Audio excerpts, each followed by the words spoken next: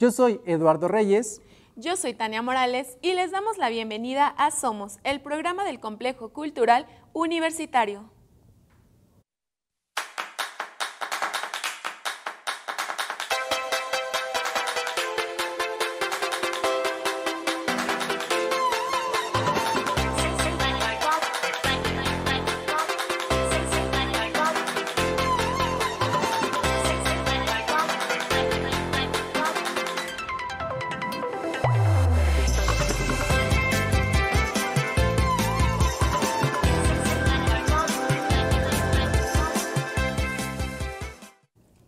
Déjame contarte, Tani, que tenemos en entrevista a alguien muy importante en la historia del Complejo Cultural Universitario, pues estuvo a cargo del proyecto y la dirección arquitectónica del CCU BUAP, el doctor arquitecto Manuel Sandoval Delgado. Y Eduardo, ¿te gusta hacer manualidades? No, justamente manualidades no, pero siempre me gusta aprender algo nuevo.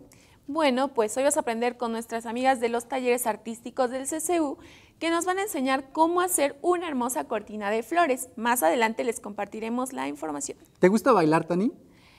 Eh, ¿Me estás invitando? Por supuesto, y Guillermo Lorenzana nos ha preparado un reportaje sobre las clases de cumbia sonidera impartidas por Andrea Moreno en el Andador Cultural. Fueron un éxito. Todas las semanas decenas de personas aprendieron nuevos pasos. Y el programa pasado, nuestros amigos del Ballet Folclórico WAP nos compartieron que representaron al país en el 65 Festival Internacional del Folclor en Agrigento, Italia. Hoy nos acompaña en entrevista el doctor Giuseppe Lobruto para platicarnos más sobre esta distinguida gira. Wow. ¿Han visto el muro verde que ornamenta el teatro del CCU WAP? Conversamos con Ricardo Fernández, representante de Endémica, Paisaje y Urbanismo, para hablarnos sobre armonía natural.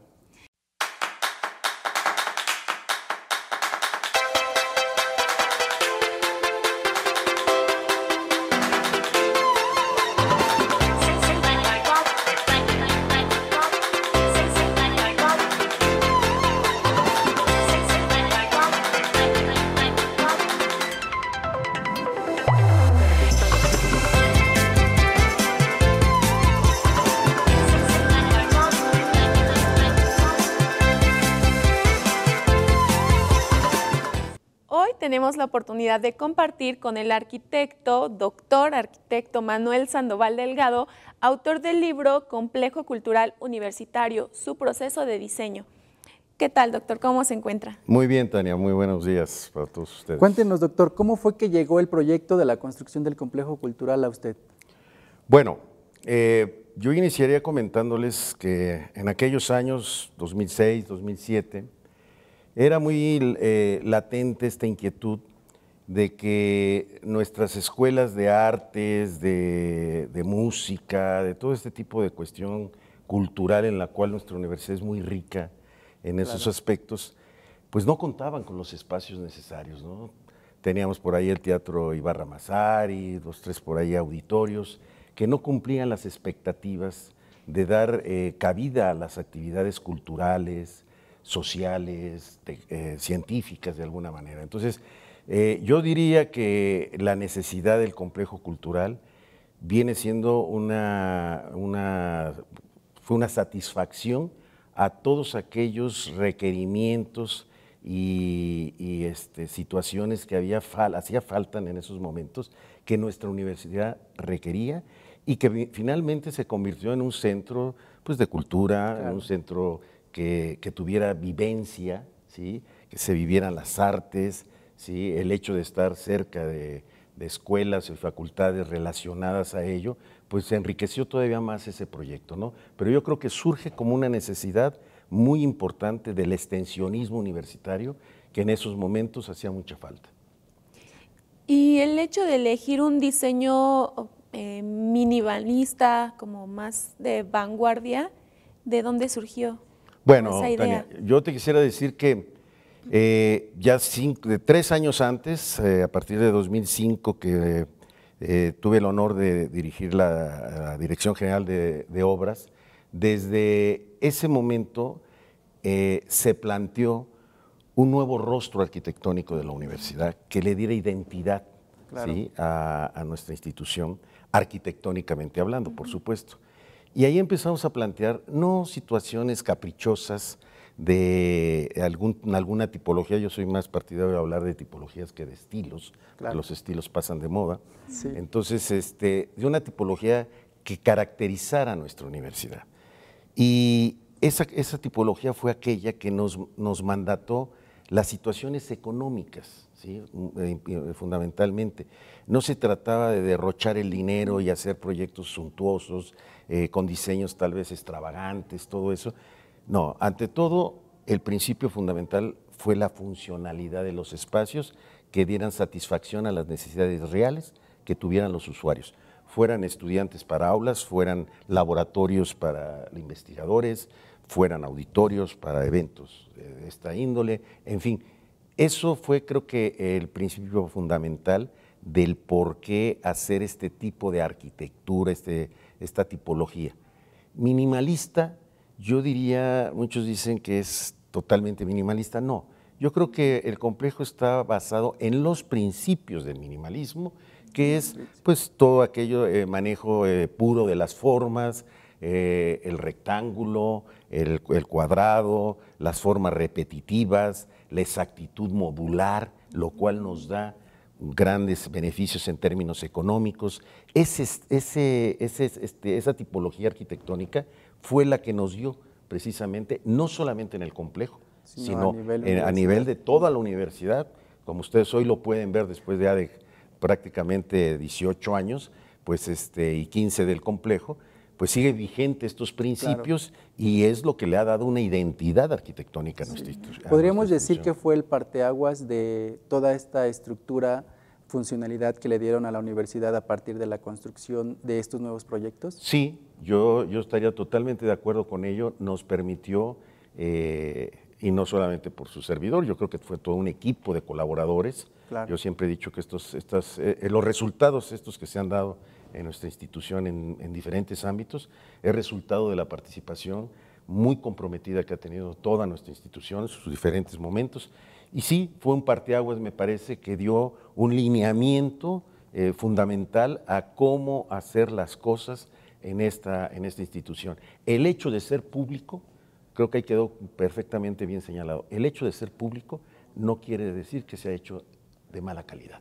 Al contrario. Por supuesto tenemos más retos de que al ser públicas las cosas, sí. con dinero del, pueblo, se tengan que ser mejores las cosas. Creo que la, prueba se puede ver, ¿no? Justo acaba de cumplir 15 años y el complejo sigue intacto, sigue con este, esta esencia que lo, que lo caracteriza. Así y cuéntenos, doctor, ¿en qué tiempo o cuánto tiempo se llevó la construcción del complejo?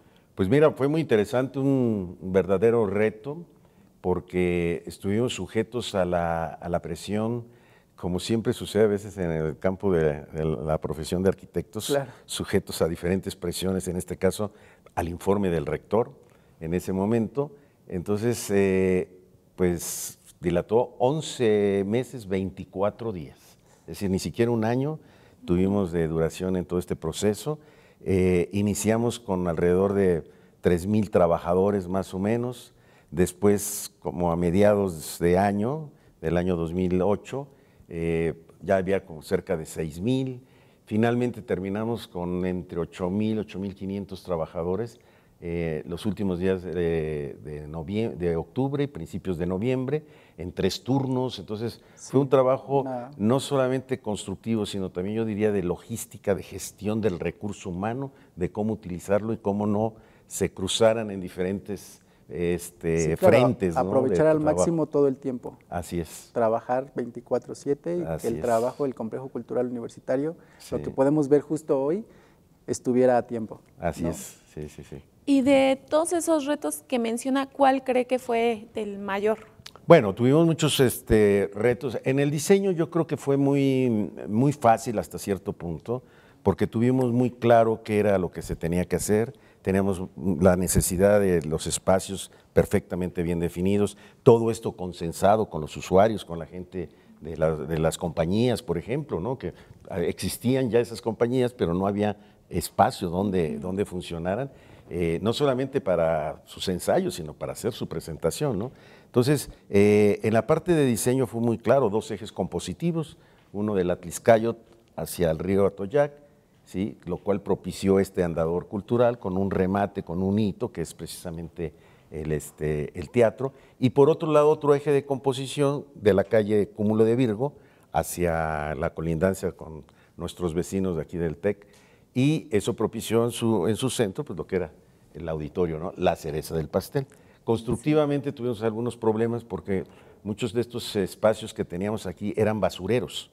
Entonces la, tierra eh, pues estaba en condiciones eh, pues no propias ¿no? de una construcción, por lo tanto tuvimos que hacer unos este, esfuerzos eh, fuertes en términos de, constructivos, colocando por ejemplo concreto este, fluido para dar mejor sustentación a las cimentaciones. Y el, el reto más difícil en términos constructivos, evidentemente, como yo siempre lo he dicho, es la cereza del pastel del complejo, que es el auditorio universitario, ¿no? por toda la complejidad técnica, eh, de diseño, de instalaciones, de acústica, de, las tramoyas, bueno, todo ese tipo de situaciones fue, creo que lo más, este, los retos más interesantes, pero bueno, afortunadamente creo que tuvimos siempre alrededor de equipos de trabajo muy comprometidos y muy profesionales en ese sentido. Sí, doctor. Y a todo este esfuerzo, a todo este proyecto, este, ¿qué ¿cuál fue el reconocimiento que recibieron? Sé que en el 2011 recibieron un premio en Barcelona por todo este proyecto. Cuéntenos un poquito más sobre, sobre este premio. Sí, eh, mira, yo pienso que el mayor reconocimiento que podemos tener, eh, no solamente los que, todos los que participamos aquí, desde los albañiles hasta su servidor, eh, es el hecho de que este espacio hoy en día y en ese momento así fue concebido, tiene vida. Claro. Y una vida eh, muy potente, muy, muy entregada a todo lo que es la, cultura, la ciencia, los aspectos sociales y todo ello. Yo creo que eso es, lo mejor. Evidentemente, en todo este tipo de proyectos siempre tratamos de, pues, de exponerlos, de darlos a conocer, ¿sí? Eh, como lo hemos dicho, este es un proyecto que ninguna universidad pública tiene, ¿sí? por lo menos hasta donde conocemos, y como decía en aquel entonces el rector, si hay alguien por ahí que nos lo diga y corregiremos, pero hasta estos momentos no hay nada desde el río Bravo hasta la Patagonia que tenga este tipo de instalaciones. El mayor reconocimiento que hasta ese momento de alguna manera pública hemos recibido fue que participamos eh, en el Festival Internacional de Arquitectura, que es el festival más importante en, este ramo. Y eh, nos ubicamos en el quinto lugar en la categoría de lo que opina la gente, estuvo sujeto a, esta votación. Y eh, en ese momento el que ganó fue precisamente eh, otro, otro pues, proyecto mexicano, obra mexicana más bien, que fue el, el, Museo de la Intolerancia en la Ciudad de México y que junto con ellos, primer lugar y quinto lugar, el complejo cultural, fueran los dos proyectos hechos en obra. ¿sí? Claro.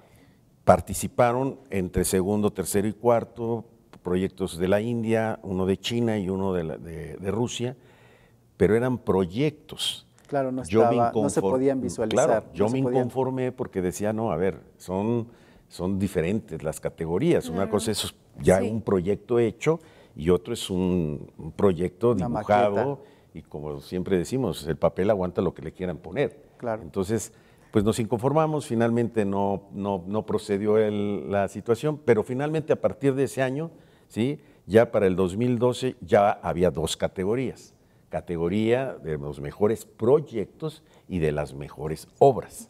¿sí?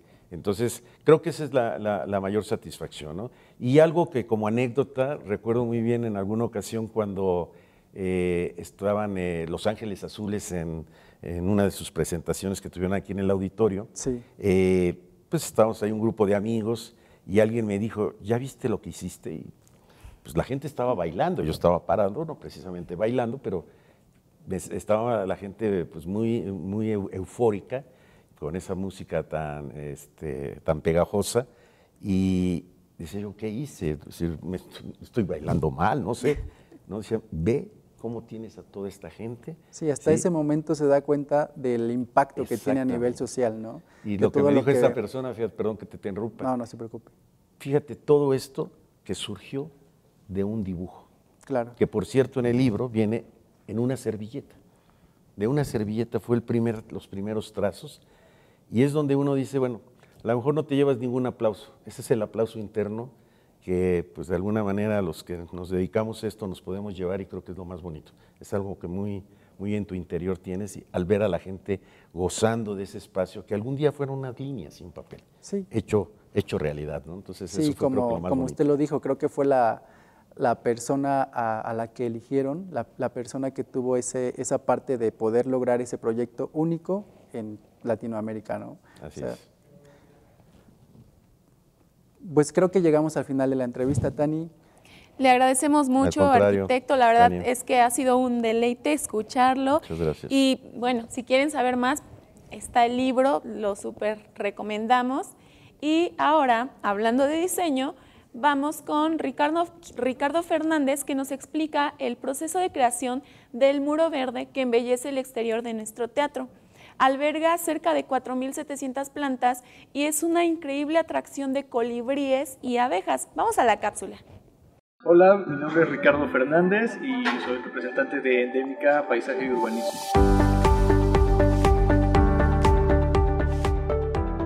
Nosotros somos de Puebla, somos una empresa pequeña todavía.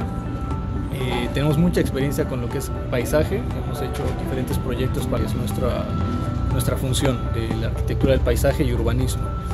El sistema pues, es nuevo, eh, aquí en el estado es un muro muy grande, es de dimensiones de 280 metros cuadrados. Tenemos alrededor de 4.700 plantas.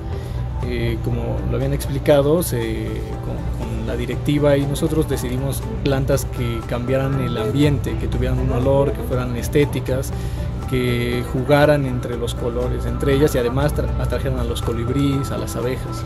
Entonces es todo un sistema pensado desde el escritorio y después ejecutado es complicado hacerlo, pero pues vamos, vamos creciendo hoy. El día de hoy nos están apoyando también unos alumnos del Colegio de Urbanismo, eh, están aprendiendo prácticamente el sistema que tenemos, el sistema constructivo de ahí del muro.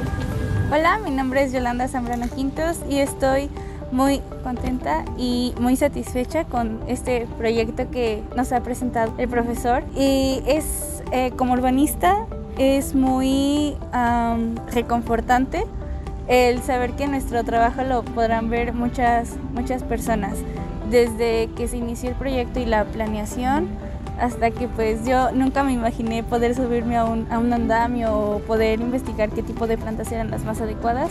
Entonces pues ver el, el resultado es muy, muy satisfactorio. Buenas tardes, soy Iliana Barranco de Villa. Bueno, la, la tela sí es un poco gruesa, pero tenemos la máquina para poderlos hacer, de prolipopinelo se llama y este, el hilos de nylon, entonces la, la, dureza del hilo para que pueda aguantar el peso de las bolsitas que van las plantitas. Y pues sí, este es un poco laborioso, al principio es un poco laborioso porque se tiene que cortar, después se tiene que este, hacer las medidas, trazarlas, después me los van pasando y yo voy haciendo las bolsitas poco a poco. Cuando ya están, pues ya se pasa para la, siguiente, siguiente paso. Hola, ¿qué tal? Yo soy Juan Carlos Jarquín Zúñiga, estudiante de la carrera de Urbanismo y Diseño Ambiental. Este, venimos aquí a realizar una actividad sobre las plantas, eh, diferente tipo de, también de vegetación. Y pues nos gusta, nos agrada porque vemos distintos tipos de, de, temas. Uno de ellos son lo que viene siendo el paisaje y eh, también lo que viene siendo la vegetación, que estas vienen incursionando en dos materias. Entonces es agradable también participar para poder aprender y este, incursionar en lo que viene siendo el complemento de, de, las materias que nosotros estamos llevando. Hola, buenas tardes. Mi nombre es Juan Manuel Cabrera Sánchez y estoy a cargo del sistema de riego. El riego que utilizamos es de riego de recuperación y a base de inyectores o goteros. Eso de base independiente a cada planta. Se regula cada planta el riego. Tenemos un tinaco arriba, se bombea van hacia las venas de, del riego y todo lo que vaya escurriendo se recupera en un canal de recuperación y hay una pichancha o un pozo. De ahí se vuelve a bombear. Ya todo lo que son químicos que se les llegan a poner para ya sea para fumigar o para la siembra, para las plantas, se van poniendo en, la, en el tinaco.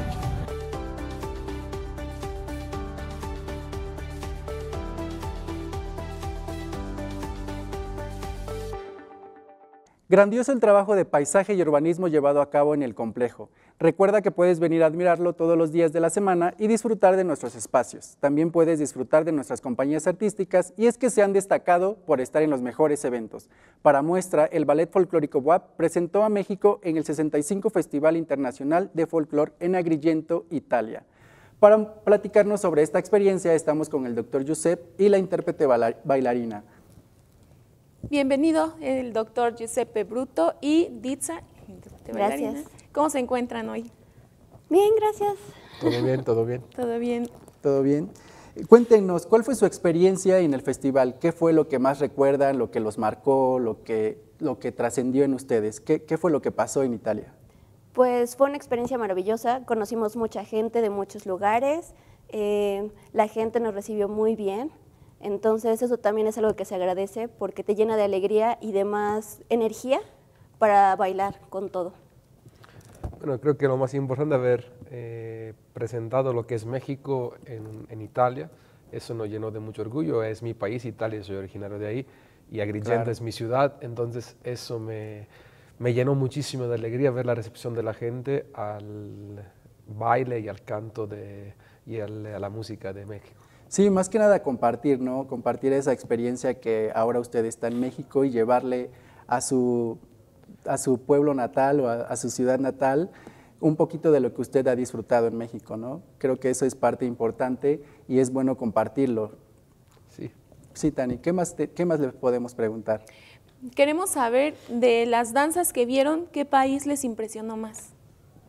Pues a mí igual Uzbekistán, igual que el doctor yo creo este, porque realmente representaban vestuarios muy interesantes, eh, tenían una presencia impresionante y realmente siento que el que ellos hayan ganado es maravilloso porque refleja todo el trabajo que ellos hicieron también. Sí, totalmente. Uzbekistán eh, se caracterizó desde el principio por el tipo de danza, los todas las vestimentas que traían. Igual, recordando Georgia, igual y Kirguistán eran otros dos países que tenían eh, bailes parecidos, aunque claro, Uzbekistán se caracterizaba para el tipo de profesionalismo también en el mostrar ese baile y, en exponer esto, esos vestuarios. Sí, seguro era súper impresionante, porque además, como nos comentaban hace rato, era una comitiva muy grande y creo que coordinar a tanta gente ha de ser un trabajo increíble. Y cuéntenos, ¿cómo se percibió el ballet folclórico en Italia? O sea, ¿cómo lo percibieron en Europa? Pues realmente, como había mencionado, nos recibieron muy bien y aparte es sorprendente cómo nuestra música y tradiciones llegan hasta el otro, otro continente y que conozcan las canciones, conozcan las letras y que canten con nosotros ciertas cosas. Es muy bonito saber que nuestro país llega a otros lugares. Sí, más que nada que lo canten igual en, el, en español, ¿no? Sí, Sabiendo que es completamente, o sea, sí es parecido, pero sí, o sea, el, español es un poquito diferente aquí, entonces es completamente agradable escuchar que en otro país conocen y ubican al instante toda la cultura mexicana. Y usted, doctor, cuéntenos cómo... Coincido totalmente con Ditz, además recordar que ese festival ya lo había ganado el Ballet Folclórico de Amalia Hernández, no es la primera vez que México vaya, entonces México es conocido en el mundo, su cultura, su arte, su danza es bien reconocida y la verdad era una alegría enorme ver a la gente como aplaudía, como quería sacarse foto con los bailarines, los mariachis. Fue un gran orgullo, la verdad, poder estar ahí. Sí, me parece impresionante, o sea, el gran reto al que se enfrentaron, ¿no? O sea, imagínense ustedes estar otra vez en Italia demostrando la cultura mexicana y sobre todo yendo a un lugar en donde el doctor lo, vieron, lo vio nacer, lo vio crecer y ahora llevarles y compartir toda esta experiencia me parece magnífico. Y de verdad que a la gente le encantó, nos platicaban hace rato que incluso cuando iban desfilando, pues la gente los detenía y quería foto y querían pues estar ahí conviviendo ¿no? con, los, con los bailarines y con el mariachi. Y ahora nos gustaría saber qué eh, reconocimientos obtuvieron. Bueno, en música se llevó el primer lugar gracias al mariachi, que la verdad hizo un trabajo estupendo y eso se reconoció, que es lo que también nos agradó, y se demostró también. También en baile, pues nosotros ganamos el segundo lugar, pero como dice el doctor, moralmente ganamos.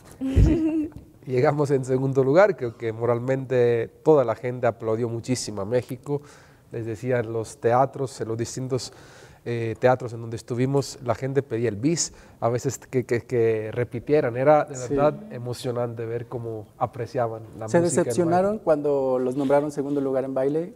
¿Cuál fue su sentir? O sea, ¿qué sintieron? ¿Ustedes sí esperaban ganar el primer lugar por el, todo el cariño y los aplausos que el público les tenía? Pues la verdad sí esperábamos ganar.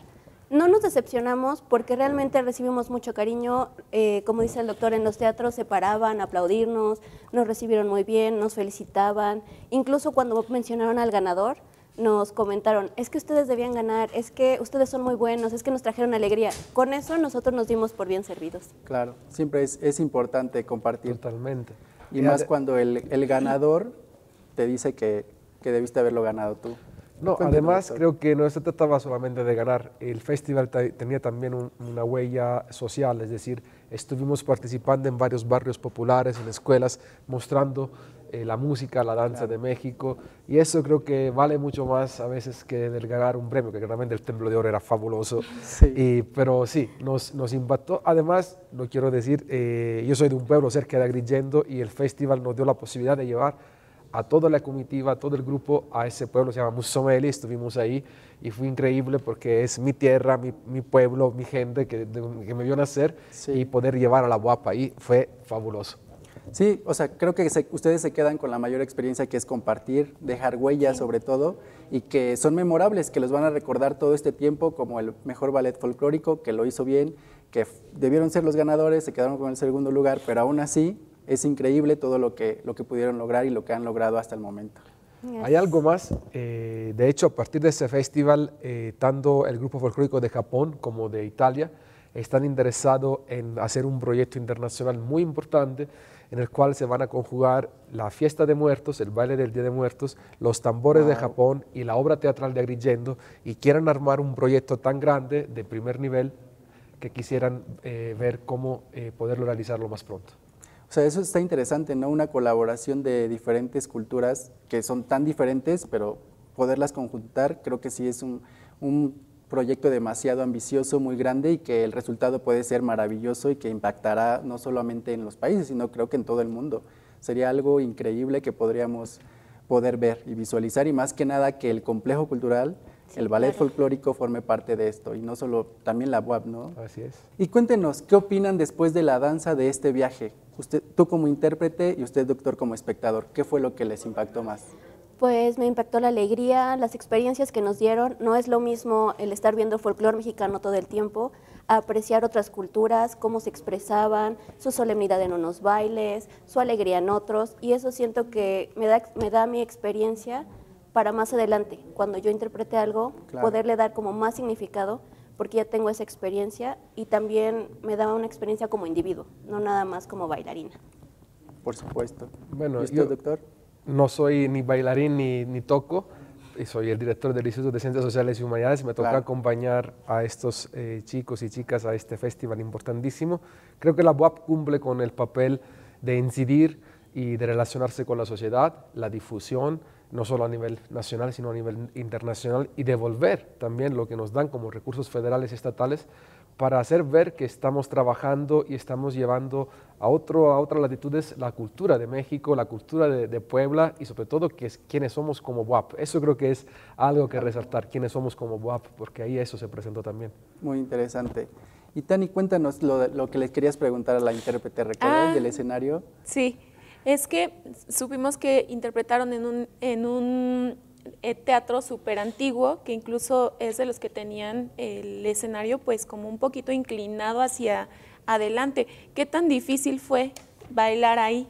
Pues nosotros al empezar a bailar eh, entramos con toda la energía y cuando nos dimos que estábamos en desnivel, ahora sí que tuvimos que aplicar todo lo que nos han enseñado nuestra directora de poner fuerza en todo anclarse al piso porque al momento de dar vueltas, por ejemplo, en Jalisco y todo eso, sí sentíamos que nos íbamos hacia adelante y pues nos daba como ese miedo de caernos, pero queríamos dar todo en escenario. Independientemente de, de lo que hiciéramos, nos teníamos que divertir, nos teníamos que más bien transmitir esa alegría y no ese miedo que hasta cierto punto nos dio. Claro. Además fueron tres veces. Sí.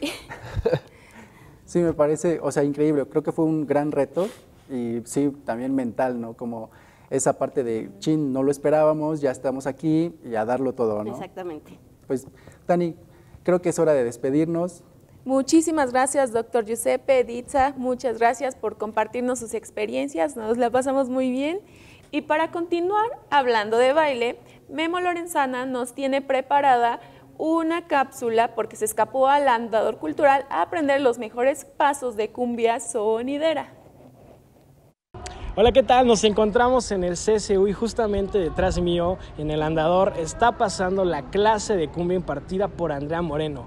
Acompáñenme a preguntarle a la gente qué tal está el ambiente, ver si podemos aprender unos pasos y pues a divertirnos. Vamos a ello.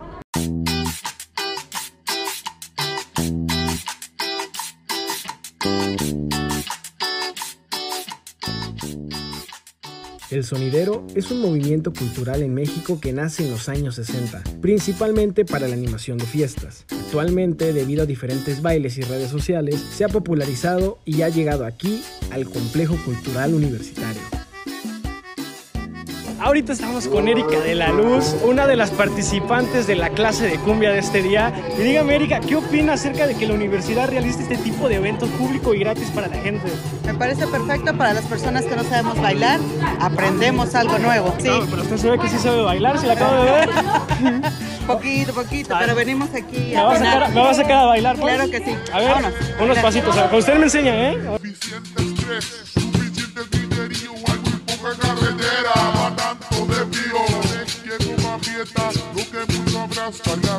Ya me aprendí, ya me aprendí. Estamos de regreso y esta vez no me encuentro solo ya que me encuentro en medio de dos grandes personalidades aquí en el Complejo Cultural Universitario. A mi izquierda tengo la maestra de cumbia Andrea Moreno y a mi derecha un gran honor tener al gran Willy de Sonido Continental Estéreo. Para nuestros amigos de comunicación, un saludo.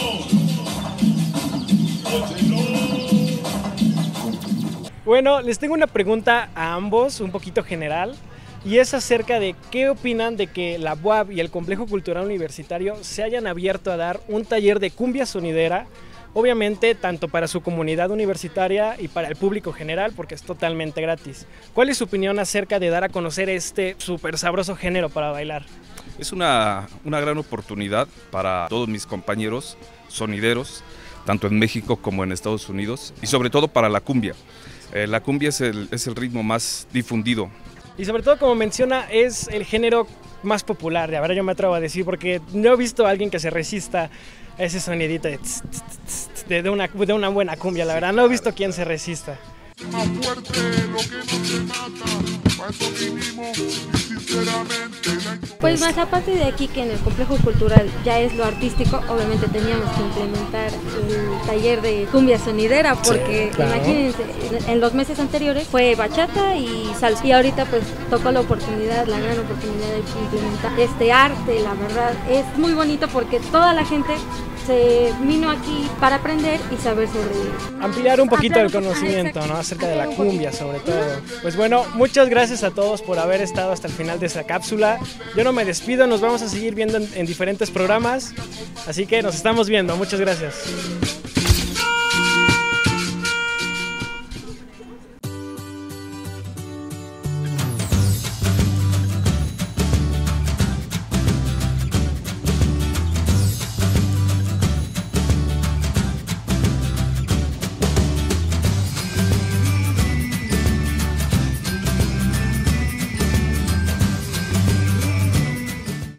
Estimadas lectoras y lectores? Bienvenidos a este su espacio WAP Librerías.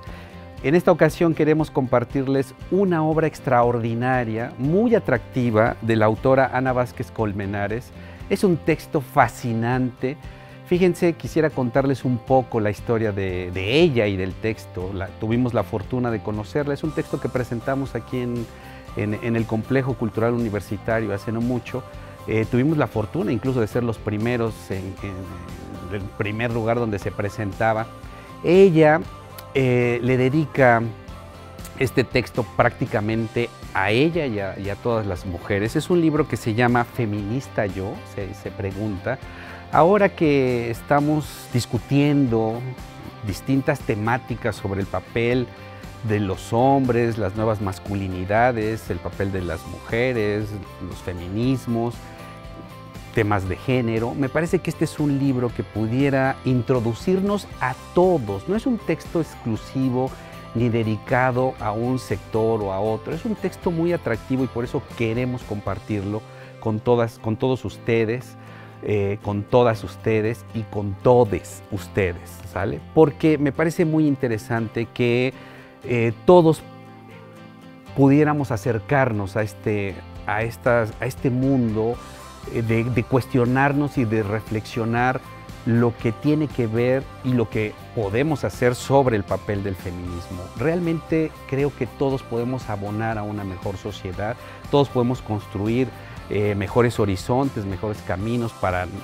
los hombres y sobre todo también para las mujeres, de tal manera que este es un texto que vale mucho la pena. ¿no? Ella eh, se refiere en, la obra, hace una magnífica revisión sobre qué es y qué no es feminismo en uno de sus primeros capítulos. En el siguiente capítulo habla prácticamente sobre la secuencia de las olas que ha, que ha habido sobre el mundo del feminismo.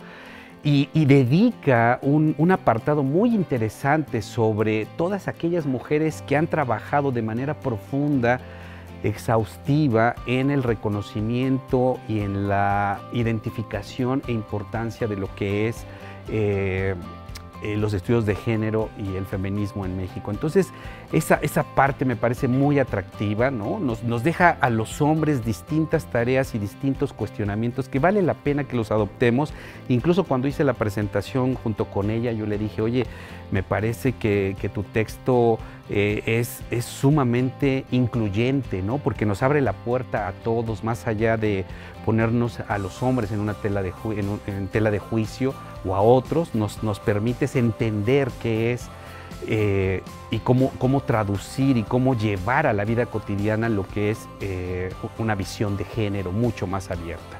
Por eso me parece muy atractivo eh, recomendar este texto. Es muy suave, aparentemente parece un texto muy, muy amplio, pero la verdad es que se va como agua cuando lo empiezas a leer porque la dinámica de la lectura es muy ágil, es muy sencilla, eh, no tiene ningún contenido academicista, que me parece que eso es una de sus principales bondades y aportaciones porque nos permite a todos entender lo que es feminismo. ¿no? Incluso al final trae una serie de reflexiones o ejemplos de una historia sobre dos personajes eh, y sus comportamientos en la vida cotidiana y entonces ahí nos va sugiriendo, nos va dando una serie de recomendaciones y sugerencias sobre lo que podemos considerar que es feminismo y lo que no lo es.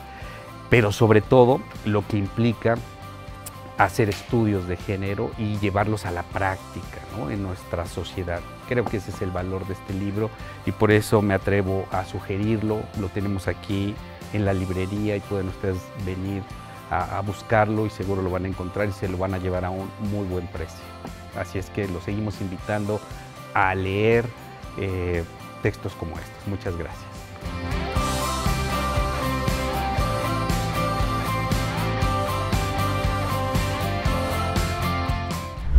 Gracias Memo y gracias al doctor Jorge David por esta interesante propuesta. Ahora vamos a un corte, pero al regresar, Jessica Jacqueline y Eduardo Reyes les tienen la agenda cultural. Esto es Somos.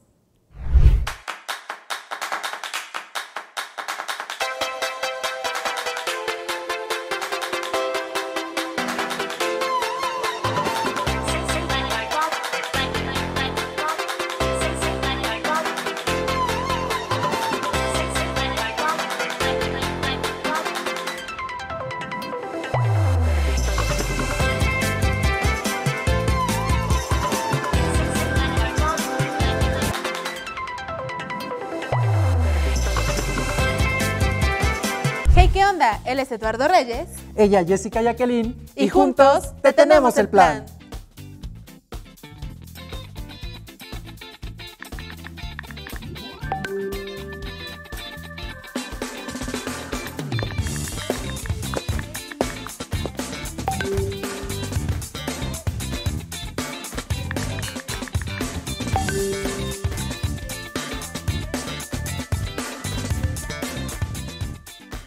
Continúa la MIC en las salas de cine de arte con la historia de Richie Bravo, una antigua estrella musical que persigue su desvanecida fama en la ciudad costera italiana de Rimini, el jueves 6 de abril. Y para el viernes 7 de abril ven a ver Sexo Loco o Porno Desafortunado, una película que muestra un amor irreverente y comentarios mordaces sobre la hipocresía y los prejuicios de nuestras sociedades.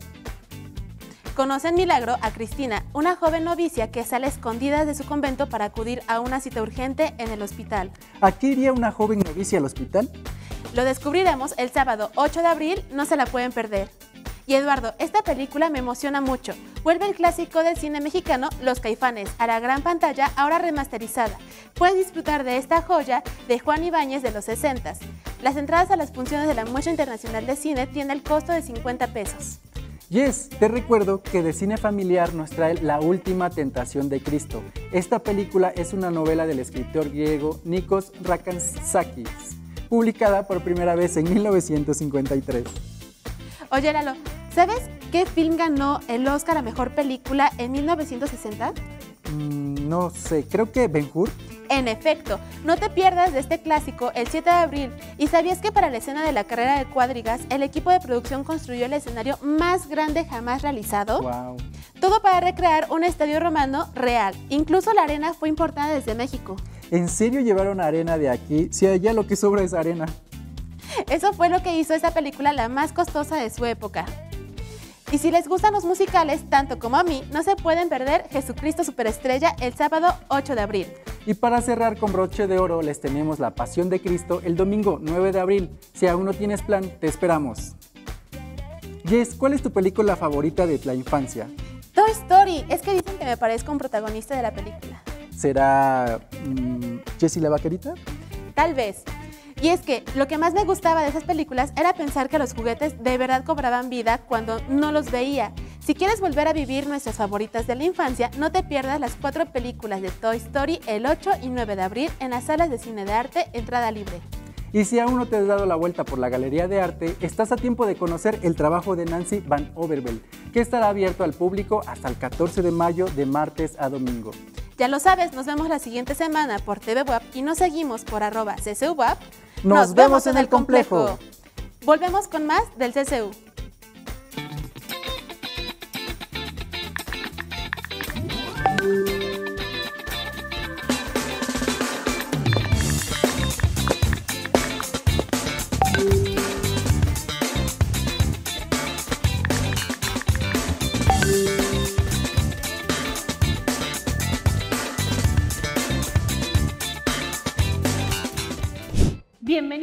Talleres Artísticos CCU WAP. Mi nombre es Fernanda Merino y hoy vamos a aprender a hacer un pizarrón mágico. Los materiales que vamos a ocupar hoy para esta actividad son un cartón o cartulina, crayolas de cera, tinta china, pincel o esponja, recipiente para la tinta, clip, palillo o herramienta para escultura. Lo que vamos a hacer para este pizarrón es, en los colores que tú prefieras, pueden ser nada más uno o de preferencia te recomiendo usar todos los que quieras en colores claros, vas a pintar sobre tu cartón con la mayor cantidad de fuerza posible para cubrir todo el cartoncito. Puedes ir cambiando los colores en cada uno. No importa si el crayón pinta encima de otro, se van mezclando porque nos va a ayudar con el efecto de nuestra actividad. Y te tiene que quedar más o menos como este cartoncito. Si te das cuenta todo está cubierto y si le pasas la manita vas a sentir toda la cera que va quedando en nuestro pequeño cartón. El siguiente paso es vertir tu tinta china en tu frasquito. Vas a ir haciéndolo de a poquito, ya que una vez que se seque ya no vas a poder utilizar la tinta. Y lo que vas a hacer es cubrir todo tu cartoncito con esta tinta. Si te das cuenta va a haber partes donde no queda pegada la primera, es ahí donde vamos a tener paciencia. Lo vas a cubrir todo y conforme vayas avanzando y terminando, vuelves a pasar tomando tinta, otra capa para cubrir esos espacios. Aquí ya tengo mi primera capa secada, pero si se dan cuenta todavía hay espacios que tienen un poquito de crayola visible. Vamos a tomar de nuevo nuestra esponjita y vamos a pasar una segunda capa.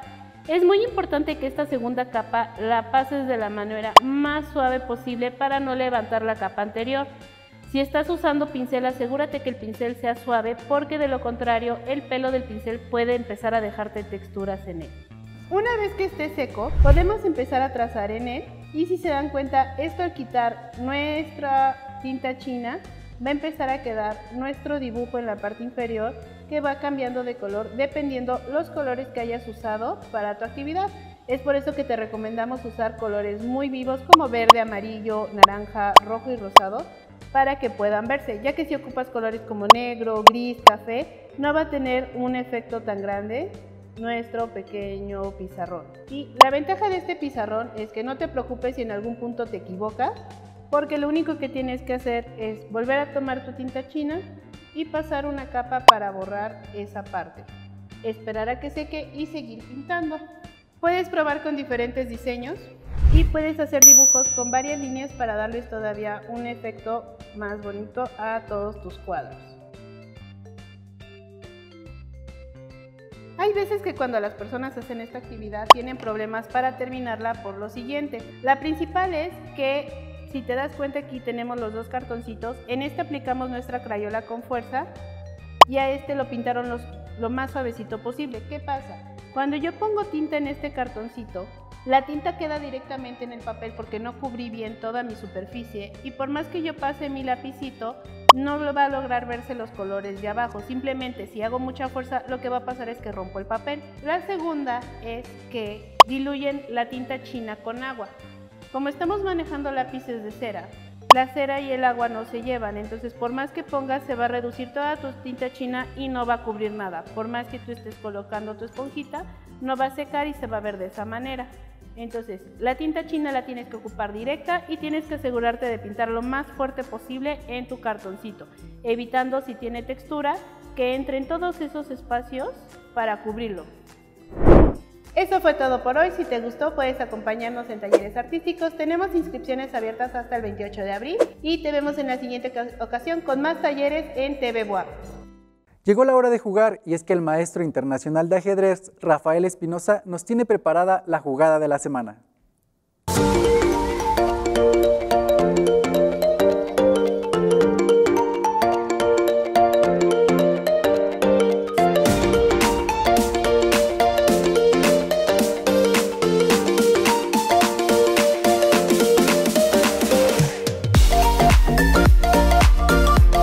Soy el maestro internacional de ajedrez Rafael Espinosa en el Parque de Ajedrez de la UAP.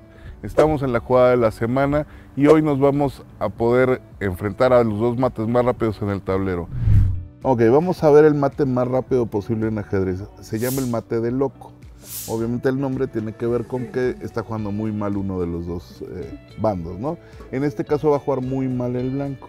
Como ya sabemos, vamos a utilizar las coordenadas de la A a la H y del 1 al 8 eso me va a poder ubicar las piezas donde van en el tablero. Cuando yo digo una letra y un número, solamente vamos a mover peones.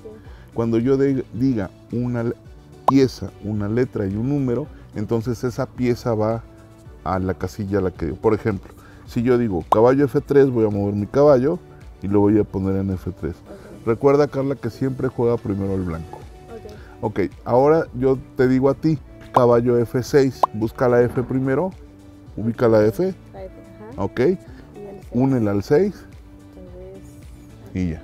Y ahí termina tu jugada. Perfecto. El blanco va a jugar muy mal en esta ocasión. Va a jugar F3. ¿Por qué juega mal? Porque no está jugando sobre estos cuatro cuadros que son los cuatro cuadros centrales y no está sacando piezas. Está nada más debilitando su posición. Tú vas a jugar E5. Una letra, un número, es un peón, ¿no? Ok. Y yo voy a jugar aquí G4, que es la peor jugada posible y es el mate más rápido que existe. Voy a hacer G4. ¿Cómo crees que puedes aprovechar lo mal que estoy jugando? Fíjate cómo está mi rey. Recuerda que el rey es la pieza más importante y si el rey se pierde, se pierde la partida. Ok. Ok, dama. Ajá. H4, sigue tu diagonal, sigue tu diagonal. No, no salgas de la diagonal. Ah, es verdad, pero Exactamente. Y tú, tú vas en diagonal y línea recta con la dama. ¿Por qué le llamamos dama y no reina? Porque cuando escribimos, porque las partidas también las escribimos, eh, necesitamos utilizar las iniciales de las piezas. Entonces sería rey y reina, se duplicaría. Entonces en español a la, llam- a la dama o a la reina le llamamos dama para diferenciar. Ok, estoy en jaque. No me puedo mover a ningún lado porque mis piezas me estorban. Es verdad. Los peones nunca pueden ir para atrás. No puedo taparme. Y los peones no comen de frente, comen de lado, en diagonal hacia el frente. Me estás dando jaque. Es la partida más rápida posible. Acabamos de ver el más rápido. Tú me diste el mate a mí. Ahora yo te voy a dar el mate ma- eh, uno de los más rápidos y más conocido probablemente por, por todos los jugadores, incluso los muy aficionados, que se llama el mate del pastor. ¿De acuerdo? Yo voy a comenzar con E4. Tú vas a contestar con E5. Muy bien. Otra vez ubicas la letra y el número. Yo voy a jugar alfil C4. Para el público, ¿cuál es el único alfil que puede llegar a la casilla C4?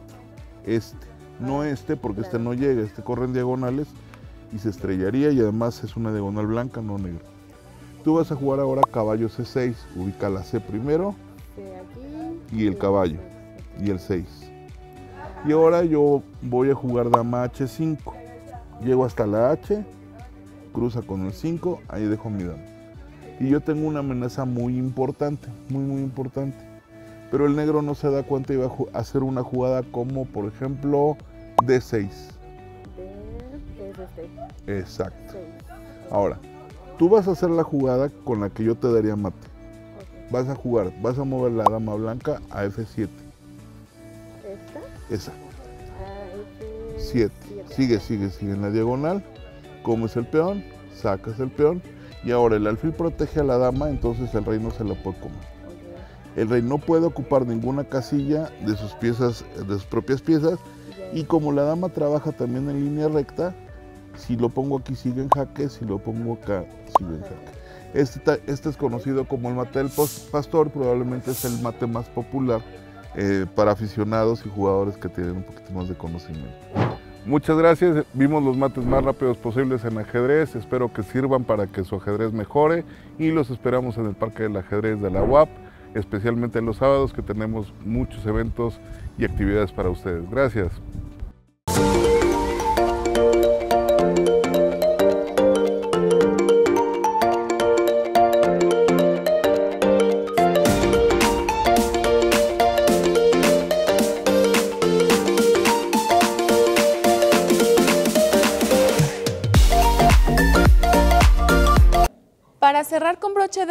El coro sinfónico WAP nos deleita con una presentación.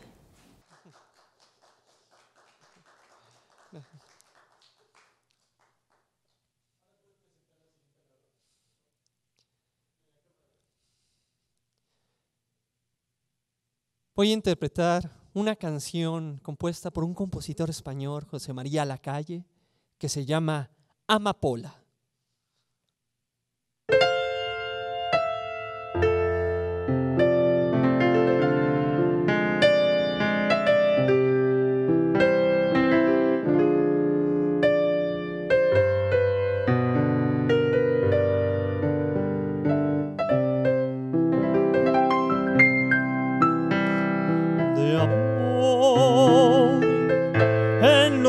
De tu reja,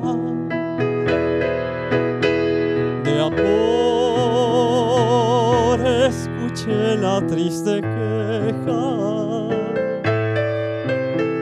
de amor que sonó en mi corazón diciéndome así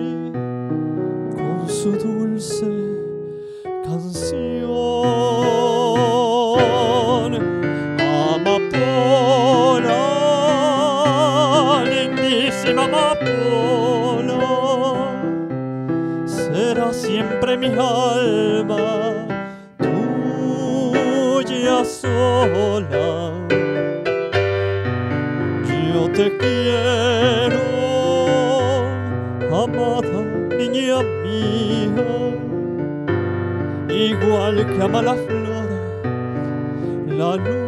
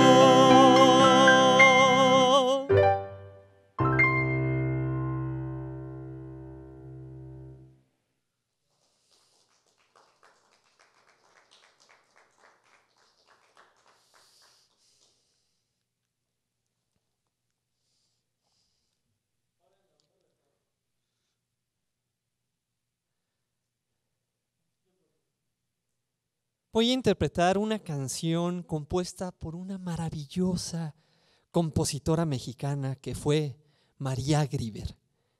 Esta canción se llama Júrame.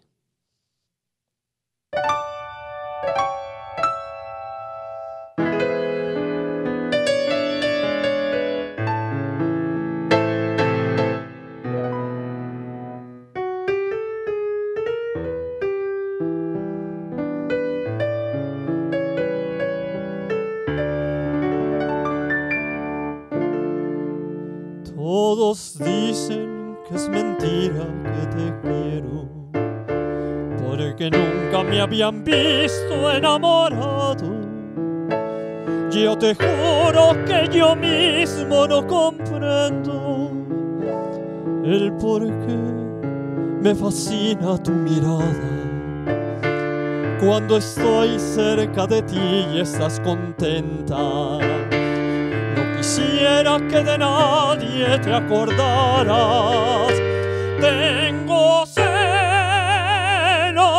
hasta del pensamiento que pueda recordarte a otra persona amada. Júrame que aunque pase mucho tiempo, no olvidarás el momento en que yo te conocí. Mírame, pues no hay nada más profundo ni más grande en este mundo que el cariño que te di. Bésame con un beso enamorado como nadie me ha besado desde el día en que nací. Quiéreme, quiéreme hasta la locura. Y así sabrás la amargura que estoy sufriendo por ti.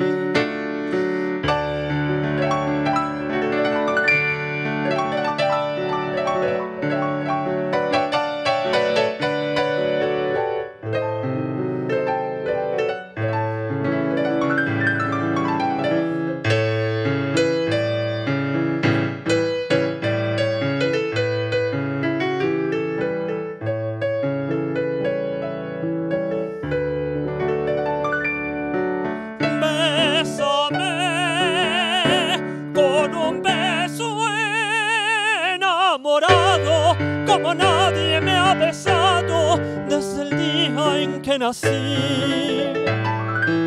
Quiéreme, quiéreme hasta la locura y así sabrás la amargura que estoy sufriendo.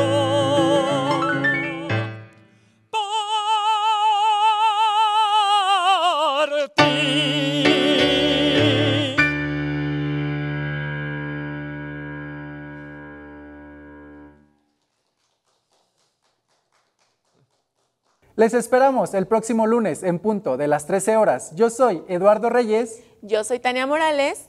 Nosotros, Nosotros somos, somos CCU. CCU.